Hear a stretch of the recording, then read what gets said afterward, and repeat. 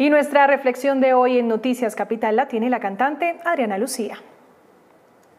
Yo creo que esto tiene que servirnos para reconocer un país que necesita cambios estructurales, para un mundo que necesita cambios de estructura, cambios de conciencia, cambios de pensamiento.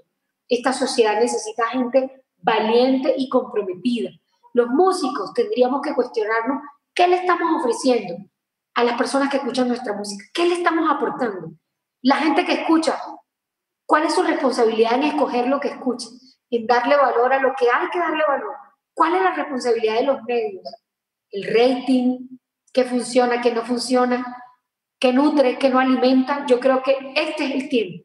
Este es el tiempo donde todos, absolutamente todos, deberíamos cuestionarnos en nuestro papel para contribuir al cambio de conciencia y al cambio de pensamiento de esta sociedad.